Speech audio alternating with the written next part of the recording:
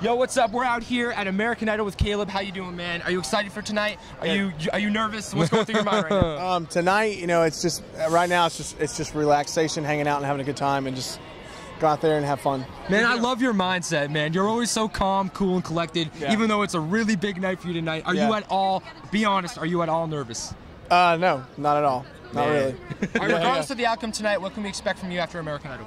Um, you know, uh, hopefully, just have a really amazing, you know, soulful rock and roll record out, and just promoting and, and touring that, and just getting to do that. Uh, You know, I want to have a record out once every year. You know, that's what I want to do. That's great, man. Thank you so much Thank for you stopping so by, much, brother. Thank Good you so luck much. tonight, Good to see you again.